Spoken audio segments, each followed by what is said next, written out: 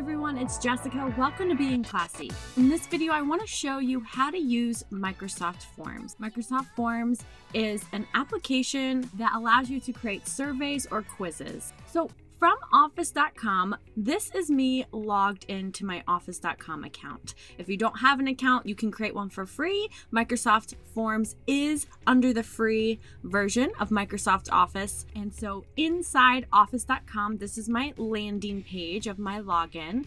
So what I want to do is I want to navigate over here to my applications on the left-hand side. You'll see this bar. I notice here that I do not see Microsoft Forms. Microsoft Forms is green.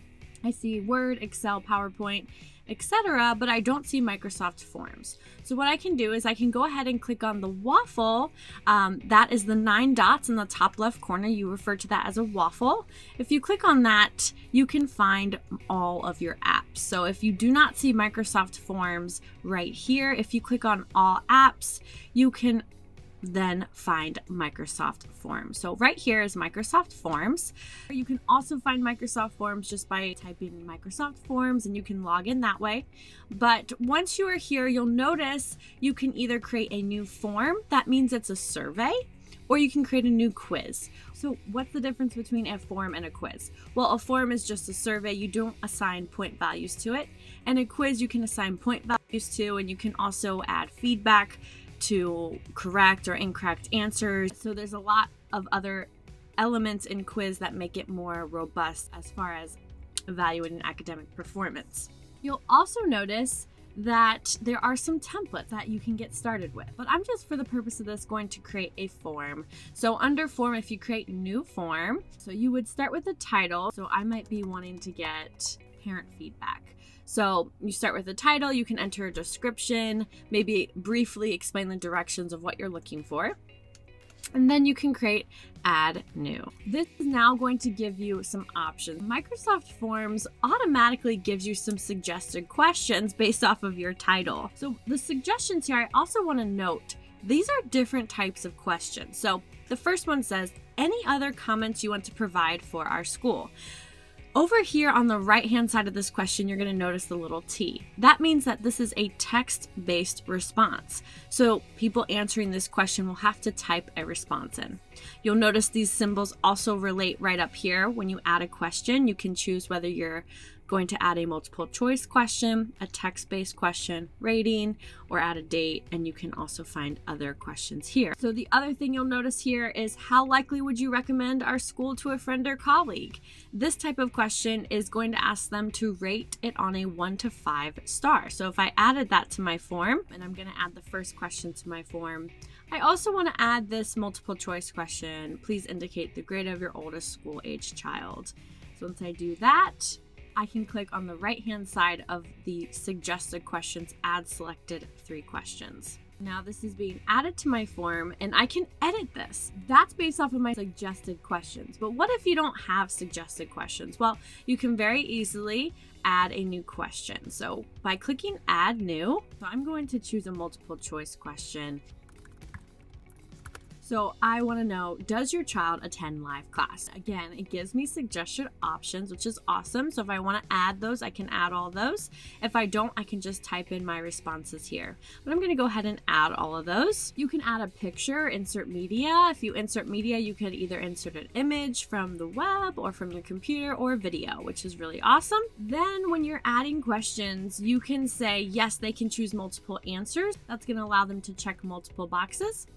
If you want it to be a required question, you can go ahead and click on that required button. And then the three little dots right next to required, you can shuffle the questions, you can create a subtitle, and you can add branching. Now, branching I can get into in a different video. It's really a cool thing that you can add to forms and quizzes. The other thing you can do in your form is you can choose a theme, and Microsoft will have different themes available to you. Sometimes they'll have different colors. So you can go ahead and scroll through. So you'll notice it changes the background here. So I've changed my theme. I have my questions. Now I want to know what this will look like when I give it to somebody. So I'm going to click on the preview at the top right corner of my screen.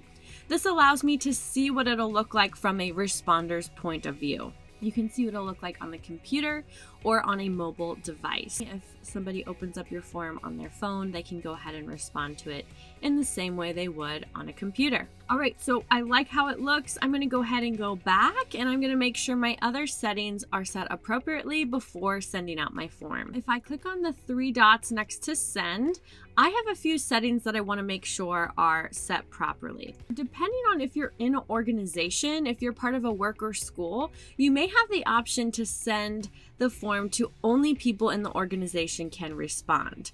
If that is true, that means only people with your domain, the same domain as you, can view this form. If you don't want that to be the case, so if you're sending it to parents and they do not have the same domain name as yours, then you're going to want to uncheck that box to anyone can respond.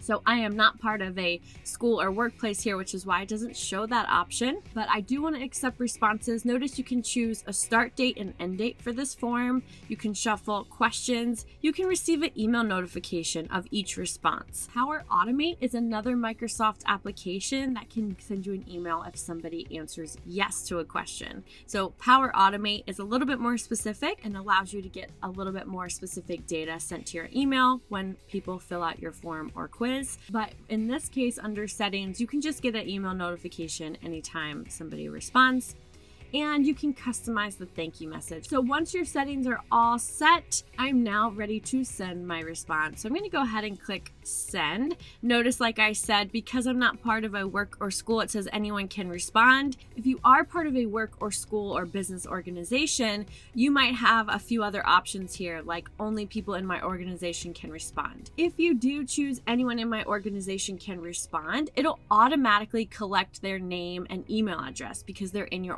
organization. If you choose anyone can respond, you're not going to automatically get their name or email address collected in your response. So you may want to have that in your form. If you want to know who responded, what they responded to, you would want to add name and email address to a question in your form. You can go ahead and shorten this URL and click copy. Notice you can also grab a QR code for this survey. You could grab an embed link for this survey, or you could automatically send it via email share it via Facebook or Twitter as well.